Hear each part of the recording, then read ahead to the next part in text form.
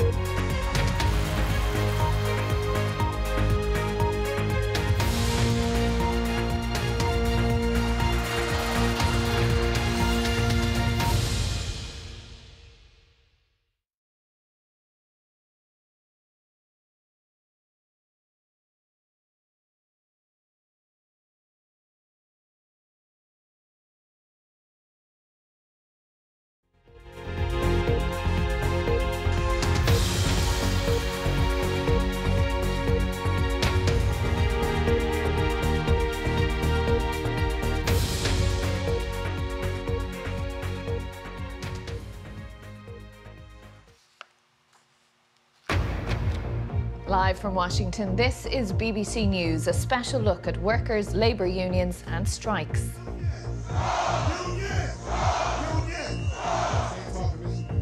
13,000 US auto workers walked off the job on Friday to demand better working conditions. The automakers have made counter offers and say they have to consider the long term viability of their companies. The strike harkens back to decades of conflict between workers and management in a nation where the car is king.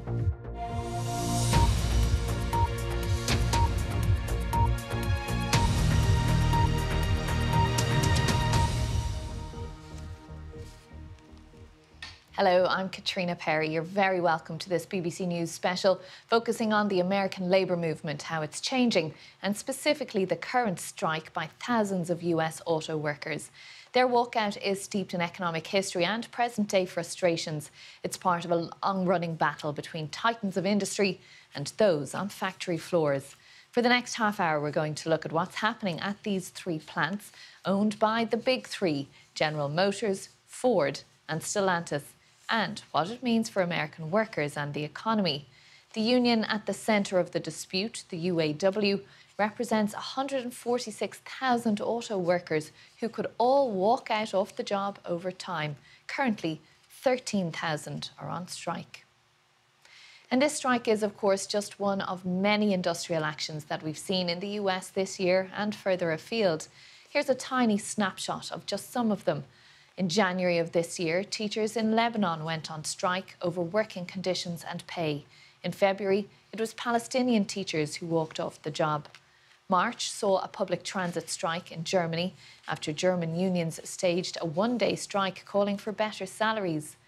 In April, flights were disrupted in Nigeria as workers protested pay and conditions. Some 3,000 teachers and school staff in Oakland, California went on strike in May. June saw a highly contentious strike by Starbucks workers over a ban on displaying LGBT decor. July was the members of SAG AFTRA joining the Writers Guild strike, which has crippled Hollywood and well beyond and still continues.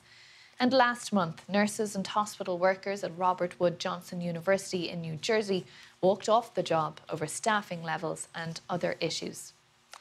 But for now, let's turn our attention to that US auto strike and hear from our correspondent, Michelle Fleury, who's in Detroit. The